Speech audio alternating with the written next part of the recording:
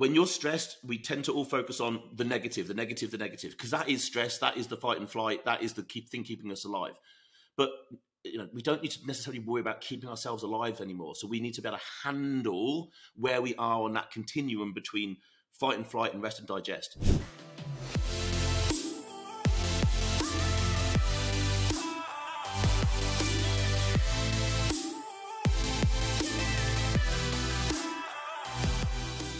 Welcome back to the show. My name's Andy Naylor, CEO and founder of Naylor Body Design and host of your Optimal Alpha podcast. Welcome back to the show. Hope everyone is good. You can't avoid stress. That's that we, we know that we can't avoid stress and it is positive. It's when it becomes chronic that it's an issue. So you can't what we want to do is stop it from becoming overwhelming, stop it from becoming chronic and ongoing. So we need to practice some some daily strategies. So let's say stress is overwhelming. Let's say it is chronic. What can we do to relieve stress at the time while we are stressed? So exercise. Exercise when you feel the symptoms of stress coming on um, will certainly help. Even a short walk can boost someone's mood. But generally speaking, we would all know that um, you know, uh, exercise releases what we call endorphins. Endorphins tend, tend to make us feel pretty good. Um, I do not have the literature. I'm now thinking about it while I'm talking. I should have gone and found it. I would go. I will go out on a limb and say that I bet if I went and looked for it, well, if you go if you go and look for anything you want to look for, you'll find it. There's a name for that. But if I went and looked for it, I'm sure that there is there is great technical literature out there with really good studies that will show that in terms of improving mood, sense of self, well being, reducing stress, anxiety, exercise is probably at the top of the list. It's at what, what, other modality do we have that is as strong um, in changing these things as exercise? And the exercise could be it could be playing tennis. It doesn't matter what the thing is it's movement. It's focusing on something else other than the, the, the, stress. It's getting the body moving and doing what it's supposed to do okay? So exercise is always going to be top of that list. Um, at the end of each day take a moment to think about what you accomplished not what you didn't get done.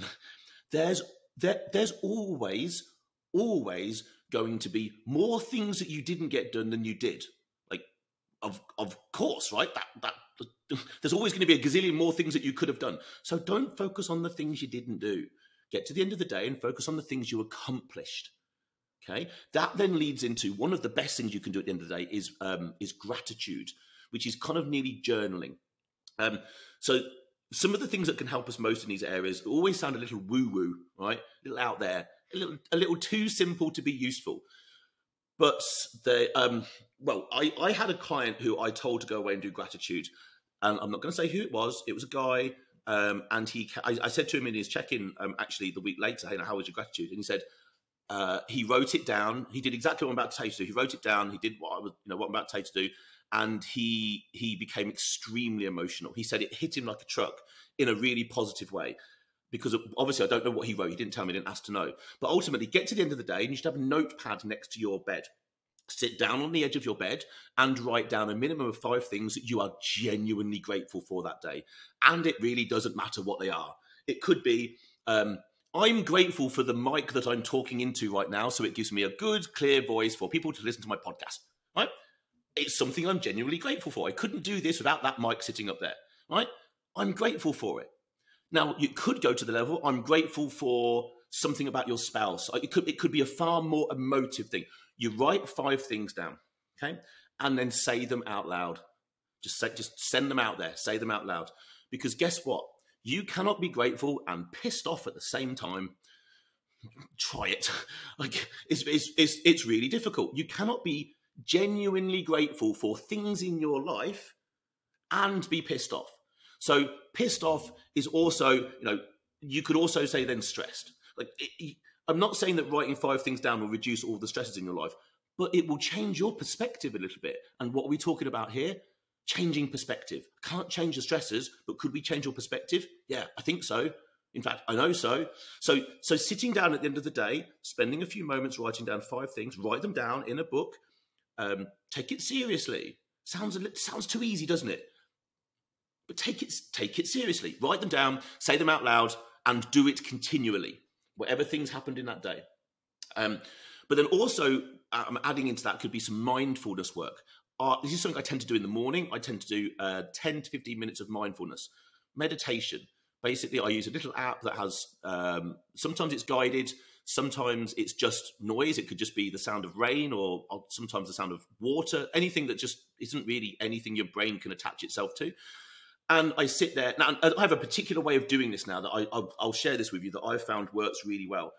Um, which is it, it, your goal when you're your, so your goal when you are practicing meditation is to basically focus on nothing but one thing, which is your breathing.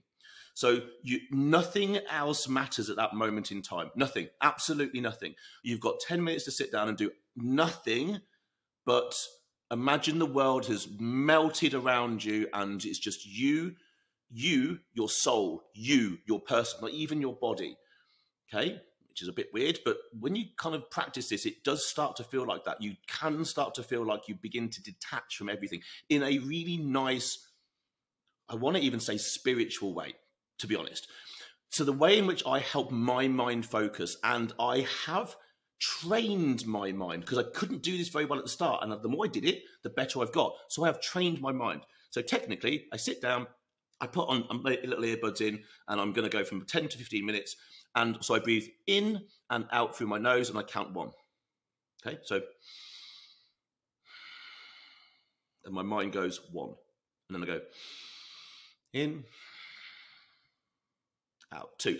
I'm I'm I'm watching, focusing, and noticing the breath all the way in and all the way out. And I'm focusing on where I can feel it most. Normally at the end of your nostrils. Sometimes could be in your belly as it moves. So you're going to notice it somewhere. It's normally one of those two places.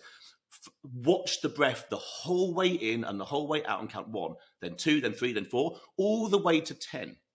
So in, out one, in, out two, in, out three, get to 10. So then in the back of your mind, you've now counted one, one round of 10 and then you go again. So in, out one, in, out two, all the way to 10. And in the back of your mind, you count two, two rounds of 10. I now get to 15 rounds of 10. To start with, I could not get to five. Legit. I couldn't get to five. My, my mind just disappeared, and I'd be like, I don't even know how many rounds I've done, and I don't know how far through this round I am. Now, when I get to about 15 now, that's starting to happen. What's actually happening is I'm kind of falling asleep. So I'm kind of putting myself to sleep, which is not the whole point, but I'm obviously relaxing that much. I've just had a walk and I'm kind of literally, my mind's just switching off, which is a problem because I want to keep my mind alert because we're trying to, we're trying to train the mind here. So anyway, that's how I do my mindfulness.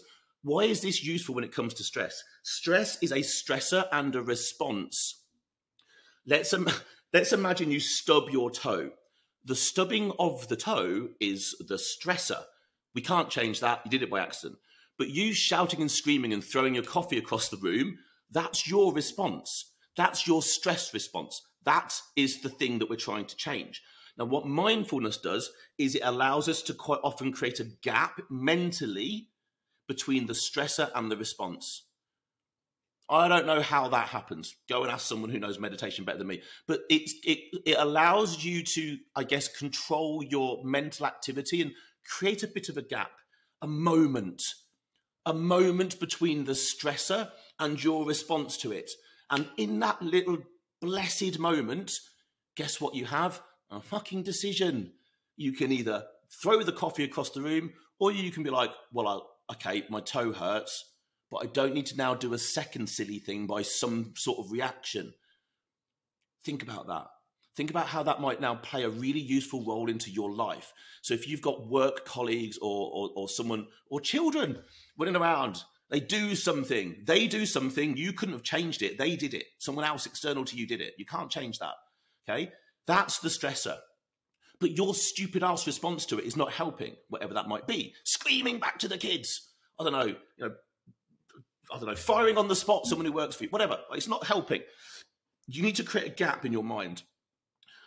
Good mindfulness practice will allow you to do that. Alphas, I interrupt this show with a simple message. This show is here to benefit you and your progression to the best version of yourself. But not only just you, it's also here to benefit the people around you, your loved ones, your friends, other alphas in your vicinity. So why not do a really cool thing today? Something that I would thank you for, and maybe someone else would. Share this podcast with at least one other alpha out there who you know would benefit from it. Why not share the information, share the ability for someone else to grow? I'm sure they would thank you. I 100% would absolutely thank you. This podcast only grows by our listeners, our followers doing amazing things like giving us five star reviews, downloading podcasts, subscribing, and then, of course, sharing it with other people. I thank you from the bottom of my heart. Share it with one person, and of course, drop us a five star review, download the podcast, and, of course, subscribe. And now back to the show. Uh, well, we've got set your goals for the week. Set clear goals for the week of the month. Narrowing your view onto the things that you need to focus on can certainly help. Okay. I can also give you an example where widening your view will also reduce stress, interestingly. But what happens tends to be is certainly with our workloads as, as, as business leaders or business owners or whatever that might be, there's always a gazillion things on the to-do list. My to-do list is, it would be months long if I just sat and actually tried to do it all in one go. It's overwhelmingly long. So all I do each morning is I write, I take my list and I rewrite the, th- the five things that I need to get done that day. It will be the top priority things that I have to get done. And if I can get those done, I've done a damn good job. So when I get to the end of the day, I focus on the things that I accomplished and not the b- bloody massive list behind me that I didn't get done because I was never going to get it all done. I'm not going to stress about it. I just pick the top five things. And I might get six done. I might get two done. Like I'm going to go after those top five. But set those goals. Um, also, if your if your stress is that bad, consider getting proper help, real help, healthcare therapist, someone who someone who can really delve into these things probably in person with you. There's nothing wrong with asking for damn help. Like, there's something wrong in struggling in silence, I would suggest. Okay. Um, so those are things that you could do, like, I guess, while stress is happening that can sort of be um, stress relievers. Thanks so much for hanging around. I hope it's been useful. Um, I will be back again for another one of these. And of course, look, hey, share it with someone that you know. If there's someone out there that you think is maybe stressed. For now, I'm off. Go and have an amazing day. I'll catch you on the next episode.